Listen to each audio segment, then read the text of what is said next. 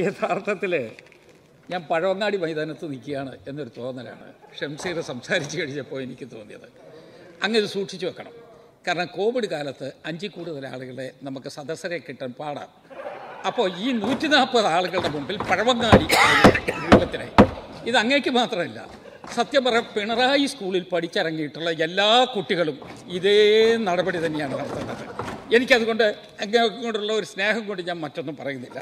Sir ഉപധനാഭ്യർത്ഥനയെ കുറിച്ചല്ലേ നമ്മുടെ ചർച്ച?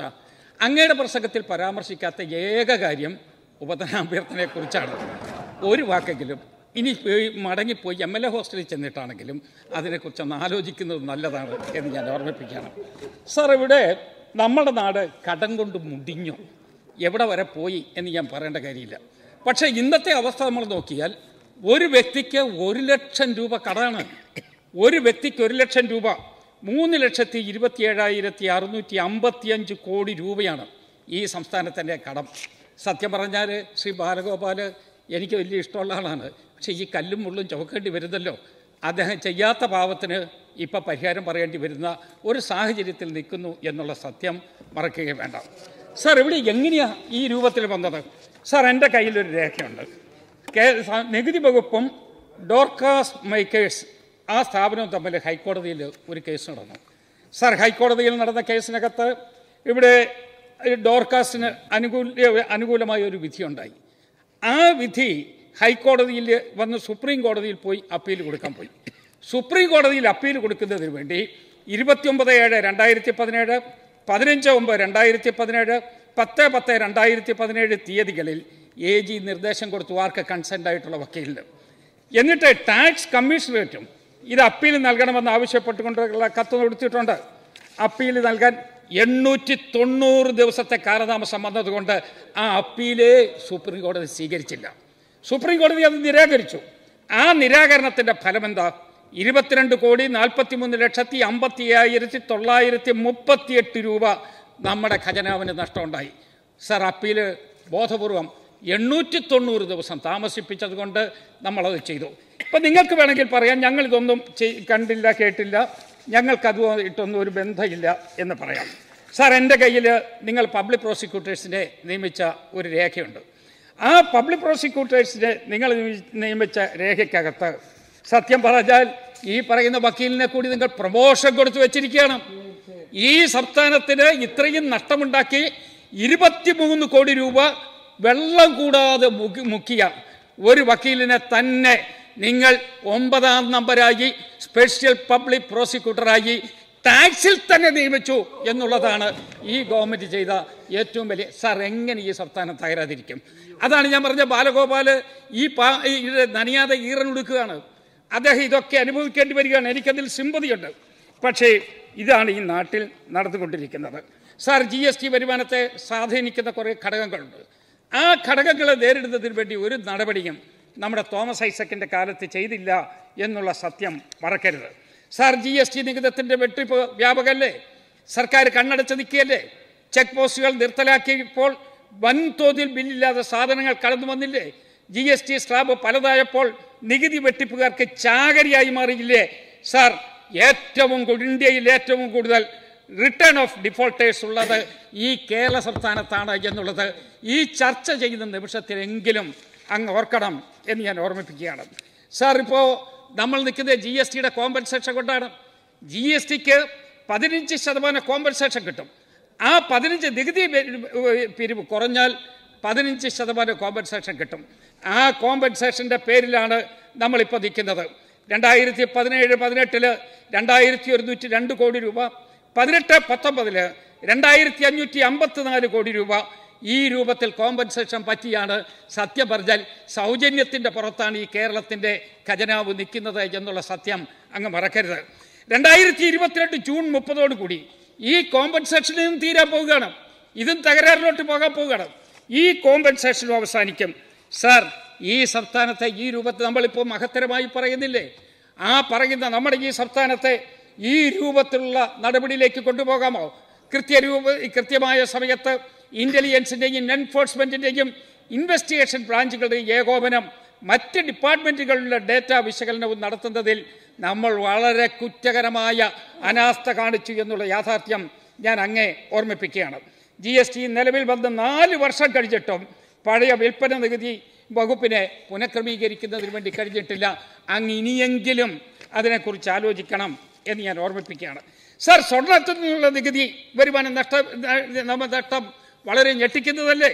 വാറ്റ് നികുതി ചുമത്തിയിരുന്നപ്പോൾ കോമ്പൗണ്ടിങ് ശരാശരി ഒന്ന് ദശാംശം രണ്ട് ശതമാനമായി രണ്ട് അഞ്ച് ശതമാനം. പ്രതിവർഷം നമുക്ക് കിട്ടിയിരുന്നത് ഏഴായിരം കോടി എഴുന്നൂറ് കോടി വരുമാനമായിരുന്നു ജി എസ് ടി വന്നതിന് ശേഷം മൂന്ന് ശതമാനമായി നമ്മളത് കൂട്ടി. പക്ഷേ നമ്മുടെ നികുതി വരുമാനം മൊത്തത്തിൽ ഇരുന്നൂറ് കോടിയായി ചുരുങ്ങി.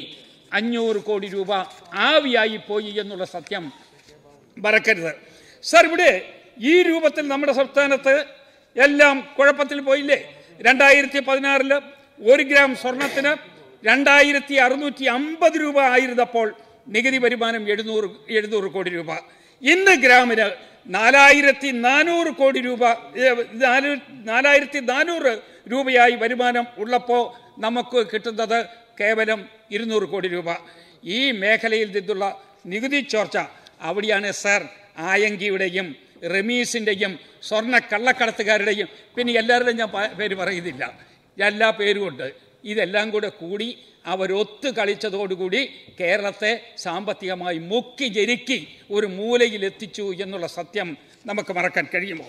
സർ ഇവിടെ നമ്മുടെ നാട്ടിൽ ആയിരത്തി തൊള്ളായിരത്തി തൊണ്ണൂറ്റിയാറ് രണ്ടായിരത്തി ഒന്ന് കാലയളവിൽ ഇടത് ധനകാര്യ വകുപ്പ് മന്ത്രി. അദ്ദേഹത്തിന്റെ പേര് ഞാൻ പറയുന്നില്ല. കെടുകാര്യസ്ഥതയേക്കാൾ അതിനേക്കാൾ ഭീപത്സമായ അന്തരീക്ഷമാണ് ഈ സംസ്ഥാനം അനുഭവിച്ചു കൊണ്ടിരിക്കുന്നത് സർ കേരളത്തിന്റെ വാർഷിക നികുതി വരുമാനത്തിന്റെ എഴുപത്തിയൊമ്പത് ദശാംശം ആറ് എട്ടും നികുതി നിന്നുള്ള നികുതി വകുപ്പിൽ നിന്നുള്ള വരുമാനമാണ്. അത് യഥാക്രമം നാൽപ്പത് ദശാംശം ആറ് മൂന്ന് ശതമാനം ജി എസ് ടി വരവും മുപ്പത്തിയൊമ്പത് ദശാംശം അഞ്ച് ശതമാനം ജി എസ് ടി ഇതര പെട്രോൾ മദ്യം എന്നിവയിൽ നിന്നുള്ള വരുമാനമാണ് അതാണ് നമ്മളുടെ മൊത്തം വരുമാനം. സാർ കഴിഞ്ഞ അഞ്ച് വർഷം കൊണ്ട് സംസ്ഥാനത്തിന്റെ നികുതി വരുമാനം കുത്തകയെ കുത്തനെ ഇടിഞ്ഞു. പ്രഖ്യാപിത വളർച്ചാ നിരക്കായ മുപ്പത് ശതമാനം നികുതി പിരിവ് വർധനവിൽ നിന്ന് പത്ത് ശതമാനമായി നമ്മൾ താഴേക്ക് പോയി. എന്നാൽ ഇതിന്റെ യഥാർത്ഥ കാരണം നമ്മൾ പഠിക്കാൻ ശ്രമിച്ചില്ല. നികുതി ചോർച്ച തടയുന്നതിന് വേണ്ടിയുള്ള ഒരു നടപടിയും എടുത്തില്ല. പൊതുക്കടം മൂന്ന് ലക്ഷത്തി എൺപത്തി മൂന്ന് ലക്ഷത്തി ഇരുപത്തിയേഴായിരം കോടി രൂപയായിട്ട് വർദ്ധിക്കുകയാണ് ചെയ്തത്. സർ സംസ്ഥാനത്തിന്റെ വരുമാനത്തിന്റെ പതിനെട്ട് ദശാംശം മൂന്ന് മൂന്ന് അഞ്ച് ശതമാനം വിവിധ വായ്പകൾ നമ്മൾ അടയ്ക്കേണ്ടി വരുന്ന തുകയാണ്. അത് കിപ്പിയും വരും. അത് വരാൻ കഴിയാറായി. മൊത്തത്തിൽ ഇല്ല സർ ഇത് വളരെ ഇത് വളരെ പ്രധാനപ്പെട്ട പ്രശ്നമല്ലേ? സർ മൊത്തത്തിൽ വരുമാനത്തിന്റെ നാൽപ്പത്തിയെട്ട് ദശാംശം നാല് ആറ് ശതമാനം ശമ്പളത്തിനും പെൻഷനും വേണ്ടി നീക്കി വെക്കുകയാണ് മൊത്തം വരുമാനത്തിന്റെ അറുപത്തിയാറ് പോയിന്റ് എട്ട് ഒന്ന് ശതമാനം കമ്മിറ്റഡ് ലയബിലിറ്റിയായി നമ്മുടെ മുമ്പിൽ നിൽക്കുകയാണ്. ബാക്കി വരുന്ന മുപ്പത്തി ഒമ്പത് മുപ്പത്തി മൂന്ന് പോയിന്റ് ഒന്ന് ഒമ്പത് ശതമാനത്തിൽ നിന്ന് വേണം ക്ഷേമ പ്രവർത്തനങ്ങൾക്ക് നിത്യനിദാന ചെലവുകൾക്ക് വികസന പ്രവർത്തനങ്ങൾക്ക് ഒക്കെ പണം കണ്ടെത്തുവാൻ. എന്നിട്ടും നികുതി നമുക്ക് പിരിവ് കാര്യക്ഷമമാക്കുന്നതിന് വേണ്ടി കഴിഞ്ഞില്ല. സർ അപ്രതീക്ഷിത വരുമാനം പിരി പ്രതീക്ഷിത വരുമാനം പിരിച്ചെടുക്കാതെയും കൊച്ചി മെട്രോ മോഡലിൽ നമുക്ക് ചുരുങ്ങിയ പലിശയ്ക്ക് കടൽ ലഭിക്കാനുള്ള സാധ്യത ഉപയോഗിക്കാതെയും ഒമ്പത് ദശാംശം ഏഴ് രണ്ട് ശതമാനം പലിശയ്ക്ക് ലണ്ടൻ സ്റ്റോക്ക് എക്സ്ചേഞ്ചിൽ നിന്ന് പണം കടമെടുത്ത് ഈ സംസ്ഥാനത്തിന്റെ ഖജനാവിനെ തകർത്ത് കളഞ്ഞയാളാണ് പഴയ നമ്മളുടെ ധനകാര്യ വകുപ്പ് മന്ത്രി തോമസ് ഐസക്ക് എന്ന് പറയുന്നതിൽ എനിക്ക് ദുഃഖമുണ്ട്. സർ ഇതിന് ഉത്തരവാദികളായി ഈ ഒരു പ്രസംഗം കൊണ്ട് അവസാനിപ്പിക്കാനുള്ളതല്ല. സാർ ഈ സഭ അധികാരമുള്ള സഭയാണ്. ഈ സഭയിൽ ചില കമ്മിറ്റികളുണ്ട്. പബ്ലിക് അക്കൗണ്ട്സ് കമ്മിറ്റി ഈ സംസ്ഥാനത്തെ കടക്കടിയിൽ മുക്കി ഈ സംസ്ഥാനത്തിന് തലപൊക്കാൻ കഴിയാത്ത സാഹചര്യമുണ്ടാക്കിയ ഉത്തരവാദികളെ മുഴുവൻ ഇവിടെ നിയമസഭയുടെ പബ്ലിക് അക്കൗണ്ട്സ് കമ്മിറ്റി വിളിച്ചു വരുത്തി വിസ്തരിക്കണമെന്ന് ഞാൻ ആവശ്യപ്പെടുകയാണ്. ഈ സംസ്ഥാനത്തെ നിങ്ങൾ തകർത്തില്ലേ? ആ തകർത്തിന്റെ ഉത്തരവാദികളെ നമുക്ക് കണ്ടെത്തണ്ടേ?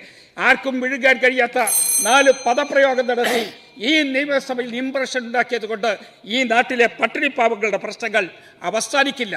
അതുകൊണ്ട് ഈ തെറ്റായ പ്രവർത്തനത്തിന് നേതൃത്വം കൊടുത്ത ഉത്തരവാദികളായ ആളുകൾ ഞാൻ പേര് പറയുന്നില്ല ഐസക് മുതൽ താഴോട്ടുണ്ട് ഉദ്യോഗസ്ഥന്മാരുണ്ട് അഡ്വൈസ് ചെയ്തവരുണ്ട് ഈ നാടിനെ കുട്ടിച്ചോറാക്കിയവരുണ്ട് ഈ നാട്ടിലെ പട്ടിണി പാവങ്ങളുടെ പിച്ചക്കാശ് പോലും പലിശയാക്കി കൊടുക്കേണ്ട സാഹചര്യം എത്തിച്ച ആളുകളുണ്ട് ഈ ഫിനാൻഷ്യൽ ക്രൈം നടത്തിയിട്ടുള്ള ആളുകളെ നിയമസഭയുടെ കമ്മിറ്റിയിൽ വിളിച്ച് നിങ്ങൾ വിസ്തരിച്ച് അവരെ കുറ്റക്കാരാണെങ്കിൽ ശിക്ഷിക്കുന്നതിന് വേണ്ടിയുള്ള നടപടിയിലേക്ക് പോകണമെന്ന് ആവശ്യപ്പെട്ടുകൊണ്ട് ഞാനിനി ഉപതര അഭ്യർത്ഥനകൾ